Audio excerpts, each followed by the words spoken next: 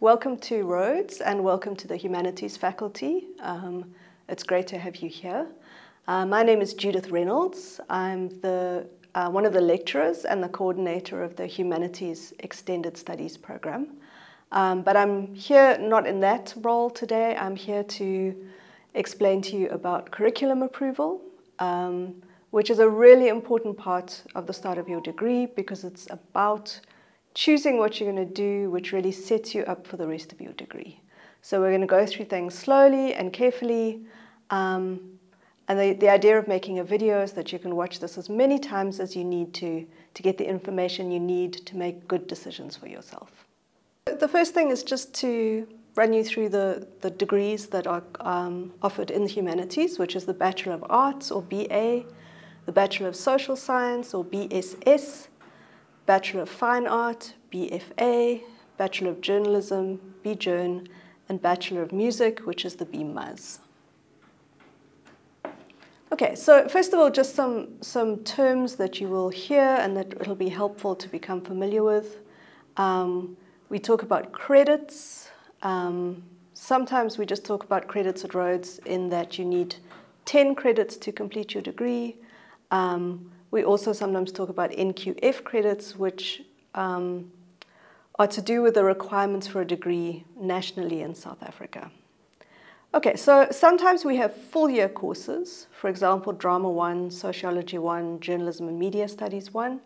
Um, and that course, you start it in February, you finish it in November when you write your final exams. You, you do that course over the whole year. And then some courses are semesterized. So that means that they are separated into two halves.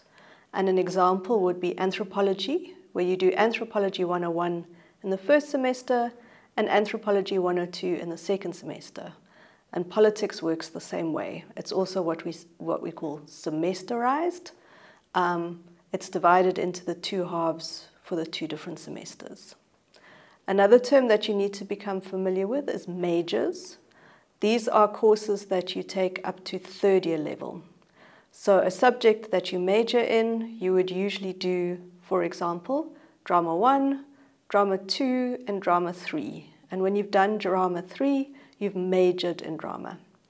Um, there are a couple of majors that don't take three years, but the majority, when you, when you say that you're majoring in something or you're planning to major in something, it means you're going to do it at first, second, and third year level.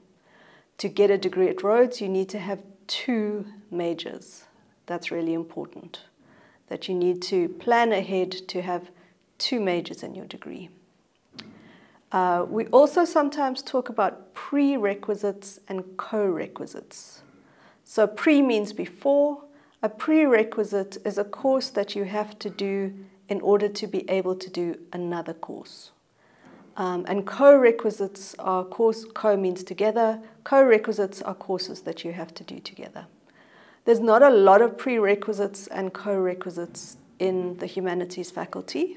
Um, they're much more common in commerce and science. Um, but there will be a couple of times when I, I, need to tell you about a course that is a prerequisite or a co-requisite with another course. So to complete your, your, your degree, um, to do a three-year degree, you need 360 NQF credits, um, which basically means that you've taken 10 courses, or it would be equivalent of 20 semester courses. And then to do a four-year degree, for example, the Bachelor of Journalism or um, the Bachelor of Fine Arts, you would do 480 NQF credits, which would be depending on the course, maybe 11, maybe 12 um, courses, subjects that you do. Okay, so yeah, you'll do two majors, um, and there are some subjects that can only be done from a second year level. So there's no Afrikaans 1, you can only do Afrikaans 2 and 3, there's no environmental science 1, um, there's no information systems 1. So those are courses you cannot do this year in your first year. You have to be a second year student to do them, and sometimes there are prerequisites that you need to do in order to do those second year courses. These are very unusual when you can only do a course from second year level. There really are a very small number of them. Most subjects, if you want to major in it, you have to start it at first year. Okay, so just a list of courses in the humanities faculty. This is also available in the handbook. Um, anthropology, drama, fine art, fine art practice, art history and visual culture, history, journalism and media studies, there's, and, and, then in the School of Languages, there's Afrikaans, African languages, which is basically only um, Xhosa at the moment, Chinese, classics, French, German, linguistics, literary studies in English, which is the poetry and the novels and drama and that kind of thing. Music, there's various music courses, um, philosophy, politics, psychology, and sociology. So those are all courses that are offered in the um, humanities faculty. And sometimes within a particular thing like music, there are different options. So it's really important to check carefully what the options are and make sure that you know exactly what course you want to do um, in a department. Okay, so in your first year, you're required to do four courses. Um, limited curriculum students must do three, and I'll talk more about what it means to do a limited curriculum later on. But most of you need to come to the desk to do curriculum approval, having chosen four courses. Okay. Um, there are specific subject needs that students need to choose for Bachelor of Music and Bachelor of Fine Arts. You don't have the same level of choice if you are doing one of those degrees. Um, and I will discuss those degrees later in the presentation. Okay, so if you're choosing four courses, all four courses must be first year level courses. You can't go and pick something from here, there, and everywhere um, to do, and you can't do something like Afrikaans, which only starts at second year level. So anything that has a 1 or a 101 after it, when you're looking at courses, is very likely to be something you can do. All right. A really strong recommendation is that all four courses you choose should ideally be possible majors.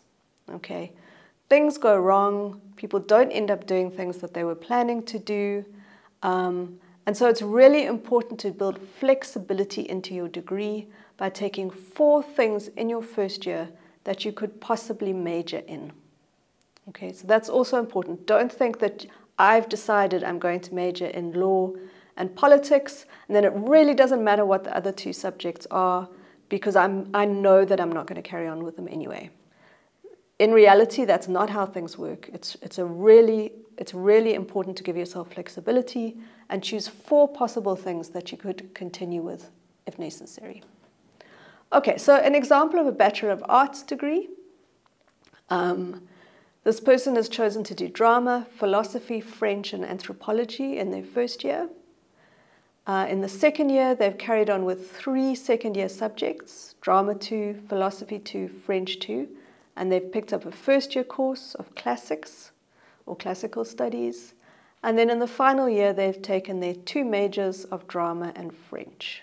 Okay, so this is a standard um, three year degree at Rhodes, four courses of your own choice in first year, four courses in second year, preferably three second year courses and one first year course, again to give yourself flexibility, and then two majors in your final year.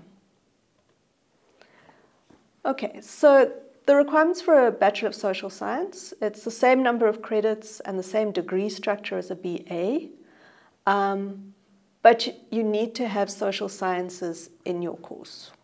So you must do at least one of these as a major, and you must have a minimum number of five um, courses, five subjects in your degree from, not doing all five different subjects, but five different credits, five credits from um, one, from this list. And I'll show you an example of a degree in a moment. So anthropology, you can do economics, it's a social science, but it is a course in the Faculty of Commerce. Journalism and media studies, political and international studies, psychology or organizational psychology, and sociology or industrial and economic sociology. So just a word with sociology and psychology. In first year, everybody does the same thing for psychology, and then in second year, you can choose between general psychology and organizational psychology. And the same thing with sociology. Everybody in first year does sociology one. And then from second year, you can choose to continue with general sociology or switch over to industrial and economic sociology. Okay, so a Bachelor of Social Science. Um, so this person has chosen to do three social sciences in their first year, politics, sociology, and economics. And they've picked up another humanities course, course which is history. Then in the second year, again, we've got three second year courses, politics, which is social science, sociology, which is a social science, history, which isn't, and then psychology, which is a social science. And then politics three and sociology three in the third year. So this person has um, eight social science credits. Only history come from humanities. Okay. Rhodes has very flexible um, curricula. You're allowed to make quite a lot of choices and you're allowed to combine things that you maybe wouldn't be allowed to combine at other universities. So you are permitted to take courses from the science or the commerce faculties, but at least half of your courses must be humanities courses. So they must come from that list that I showed earlier of all of the courses within humanities. So at least half of your courses, at least two courses this year, um, two next year, and at least one of your majors, at least one of the subjects you take to third year level must be humanities courses. Okay, so you can't do like a whole BSc and call it a BA, um, but you can do some science courses or some commerce courses within the humanities faculty. Just a little bit of a warning though. Some courses, particularly in science, have prerequisites and co-requisites. So you should check this when choosing from, to do courses from other faculties. Um, so for example, to major in computer science, you need to pass a maths course. To, to do botany 2, you need to have passed chemistry 1 and zoology 102. So don't assume that you can just pick anything and you're just allowed to do it. There are quite often, particularly with science, requirements of courses that you have to do in order to major in something or to do something at second year level. So you can get quite stuck if you suddenly decide that you're going to major in something and you haven't covered the prerequisites for it. Okay, so here's an example of someone who has taken a course from um, science, which is HKE, and they've also chosen to do one course from um, the commerce faculty, which is economics. So in the first year, we've got psychology one, HKE one, drama one, and economics one. So half of the courses are from the humanities faculty. Psychology and drama are from humanities. There's one course from science, which is human kinetics and ergonomics, and one course from commerce, which is economics. Again, in the second year, we've got two courses from humanities and two from elsewhere. Um, and then in the third year, there's one course from humanities, so again, that would be half, and one course from science as the majors. Okay, what could prevent you from doing the courses you want to do? So there are lots of options, but there are sometimes things that um, restrict you. The biggest one that people come across is timetable clashes, which is when courses have lectures at the same time. You are not allowed to do two courses that have lectures happening at the same time because obviously that is going to restrict your ability to attend classes. Um, occasionally there'll be a, a usually the clashes are complete like that. Occasionally there'll be a clash where it's maybe just once a week, in which case you probably would be allowed to do the, the two courses. But if they clash two or three or four times a week, you're going to have to make different choices. Okay, There's another thing is the rules of the faculty. As I've just explained, um, there, there are restrictions on the number of courses you can do from other faculties as a humanities student. And then departmental rules on prerequisites. Um, and as I've said, these are unusual for humanities courses, but when you do courses from other faculties, they may become relevant. So, for example, if you want to do Management 2, you first need to have um, passed Accounting 1. So those are the kinds of things that will, will prevent you from just doing anything that you want to do. Although there are many options, you're not, you don't have complete freedom in some circumstances. All right, so I'm going to talk through some specific um, subjects because these are ones that either commonly come up or that you just need to be aware of. Um, so the first one is law. All right, so some students are admitted directly into a four-year undergraduate LLB in the law faculty. Um, if you're a student in the humanities faculty, this doesn't apply to you. But just to let you know, there are some students who go straight into an LLB.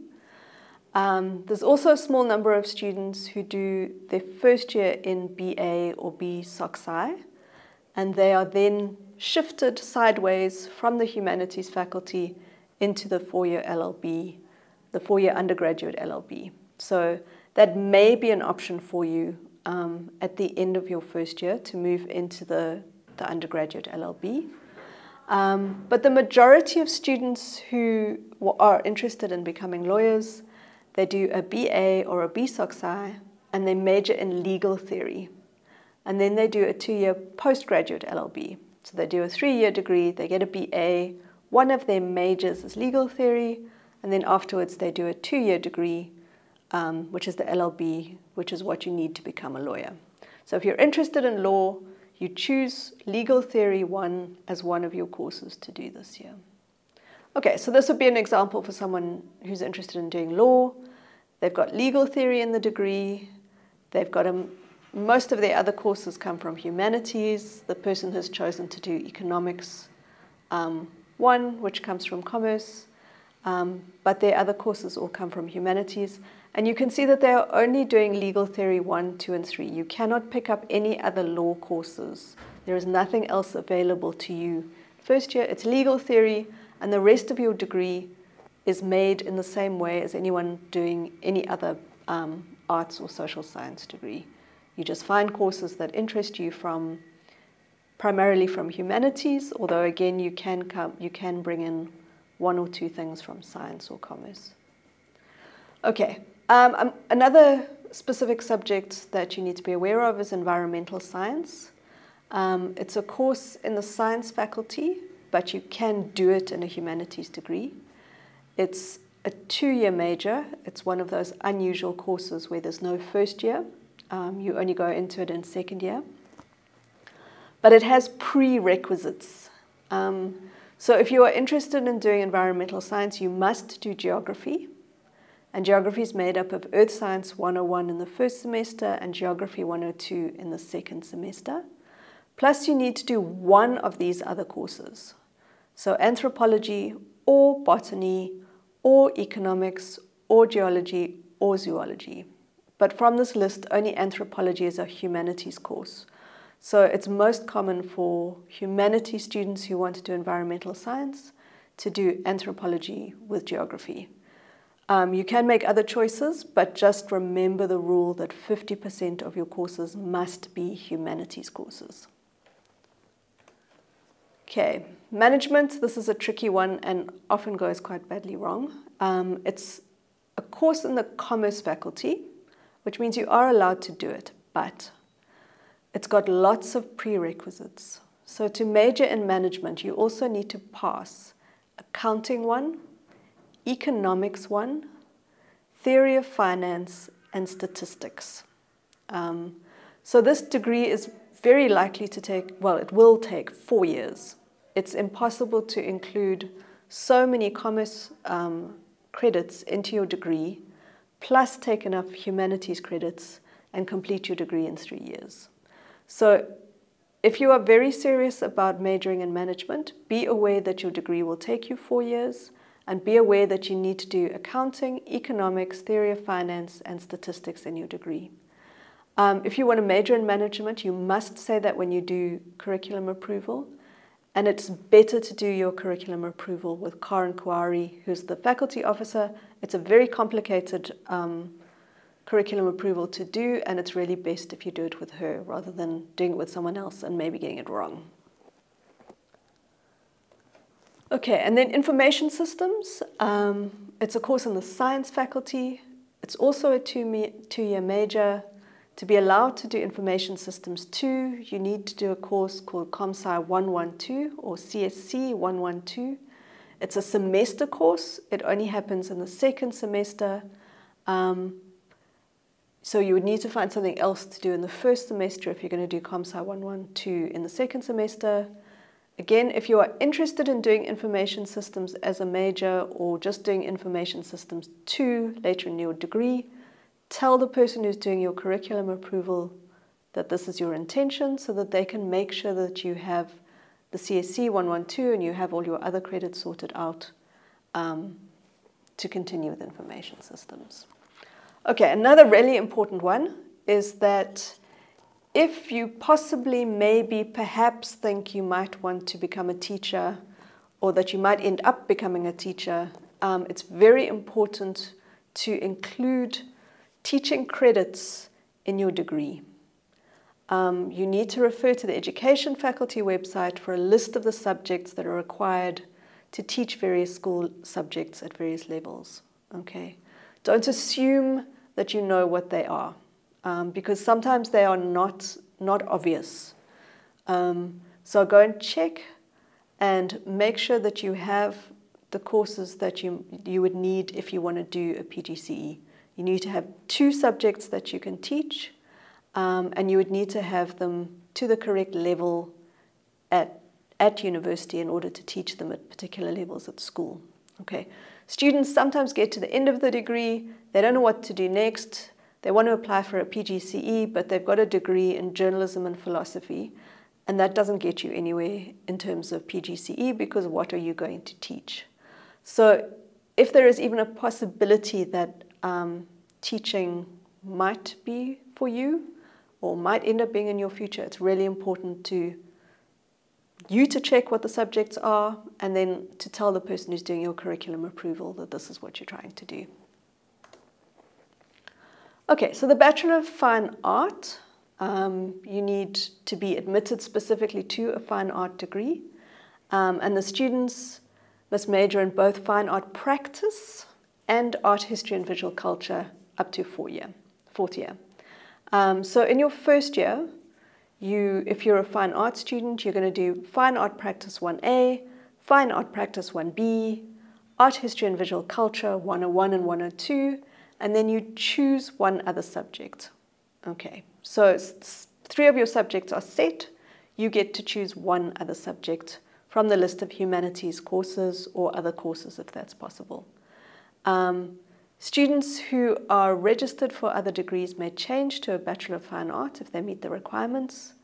Um, you would need to talk to the head of department of the Fine Art um, department and all fine art students do curriculum approval with the head of department from fine art. Um, you don't do curriculum approval with anybody else. Everybody else will be doing the BAs and the BSOCs and the BJourns. Um, you need to do your curriculum approval with someone from the fine art department. Um, okay, so people doing Bachelor of Fine Art have to do fine art practice and art history and visual culture people who are doing a BA or a BSOC Sci or other degree may also choose to take those courses um, if they wish to. Okay, the Bachelor of Journalism degree. So the first three years of Bachelor of Journalism is exactly the same as for a BA or a BSOC Sci. So if you refer back to the slides earlier for BA, BSOC Sci, your degree would look exactly the same for the first three years. Um, obviously, if you want to do a Bachelor of Journalism, Journalism and Media Studies must be one of your four subjects, and it must be taken as a major. Um, also for journalism is a co-requisite to major in journalism, and this is usually done in your second year when you do Journalism and Media Studies 2. Um, so don't, don't worry about that now, just be aware for what's coming up in future is that that will be one of the courses that you need to do. Um, and students must apply to do journalism too. There are limited numbers of spaces because of equipment, um, and so 120 students are accepted from the Journalism 1 class into the Journalism and Media Studies 2 course. Um, the Bachelor of Journalism degree is equivalent to an honours level degree, although it is a bachelor's degree. Um, Okay, so the first three years are exactly the same as a BA or a BSOC Sci, and then in your fourth year, you only take Journalism and Media Studies 4. That's it. Just Journalism and Media Studies 4. Um, so that's, that's very straightforward in your, in your final year. Bachelor of Music, um, again, it's a four-year degree. First year students must do instrumental music studies, music culture and history, music theory and analysis, and then either sound technology or a humanities course or a science course. So there are three that you have no choice over. Those are set for you, and then you have some choice um, over your fourth course that you're going to do in first year. All Bachelor of Music students do curriculum approval with the head of department from music, so they will help you through this process. Uh, okay, and then um, two different four-year degrees where you, you still end up with a, um, a BA or a BSOC Sci. So the BA Extended Studies is generally for students who have not quite met the entrance requirements for a three-year degree.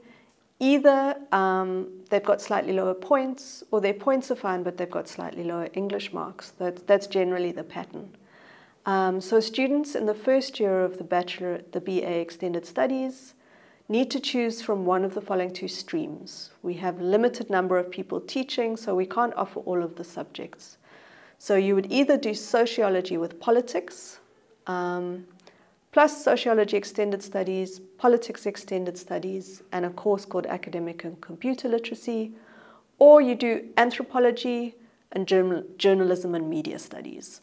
Okay, so if you're an extended study student, um, those are your two options, sociology with politics or anthropology with journalism and media studies. You don't have to major in these subjects. From your second year, you can do anything that other humanities students are allowed to do. Um, but in your first year, your choices are very limited. Um, okay, sorry, I, I, didn't include a slide on the um, there's also a, a four-year degree where you're just told that you're doing a four-year degree. It's not extended studies. And in that, um, in that course, you can do whatever subjects you want, but you, you do only three in your first year instead of doing four. Um, so again, that, that will come up when you do curriculum approval. The person doing your um, curriculum approval should see that you are have a limited number of choices, but you, you should tell them as well. If you've been told four-year degree, um, you only choose three subjects, and if the person doing your curriculum approval questions that, say that you are a four-year, um, on a four-year degree, so you can only choose three. Okay, not sure what to do.